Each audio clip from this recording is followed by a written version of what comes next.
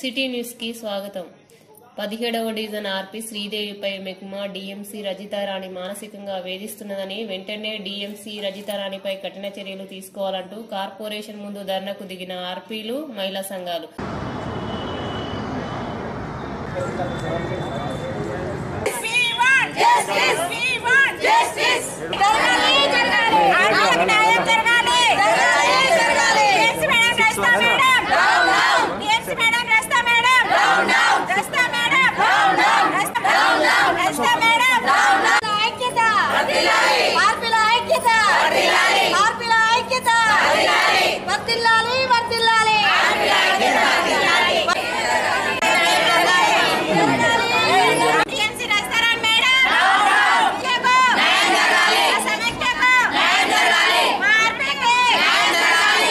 అనంతరం ఆర్పి శ్రీదేవి మాట్లాడుతూ గత పది సంవత్సరాలుగా స్లమ్ మహిళా సంఘాలతో ఆర్పీగా పనిచేస్తున్నానని గతంలో సీఓ ఉన్న రజితారాణి నా దగ్గర డబ్బులు వసూలు చేసేది ఇప్పుడు మహిళా సంఘాలకు అవగాహన వచ్చి డబ్బులు ఇవ్వకపోవడంతో నాపై కక్ష కట్టి ఆర్పీగా రాజీనామా చేయాలని మానసికంగా నన్ను వేధిస్తున్నది అన్నారు.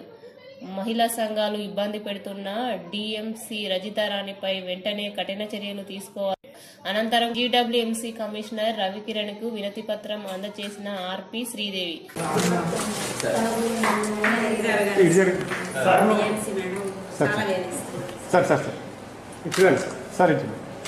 శ్రీదేవి నేను పదిహేడో division Rudramadevi two slum Samaikya ఆర్పీని రజితా రాణి మేడం డిఎంసీ గారు గత రెండు సంవత్సరాల నుండి ఆమెకి ఇవ్వాల్సిన కమిషన్లు నేను అడిగిస్తలేనని సమయానికి అందిస్తలేనని నన్ను చాలా రకాలుగా ఇబ్బంది పెడతా ఉన్నది.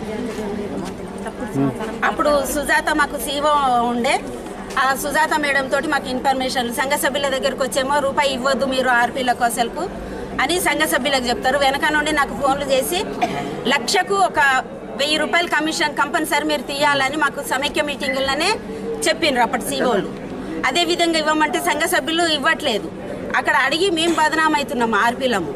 వెనకాల వాళ్ళు తీసుకుంటా ఉన్నారు. వాళ్ళది బయటకు వస్తలేదు. వాళ్ళు ముందుకు వచ్చేమో మా సంఘ సభ్యులకు మీరు ఇవ్వద్దు అని అంటున్నారు.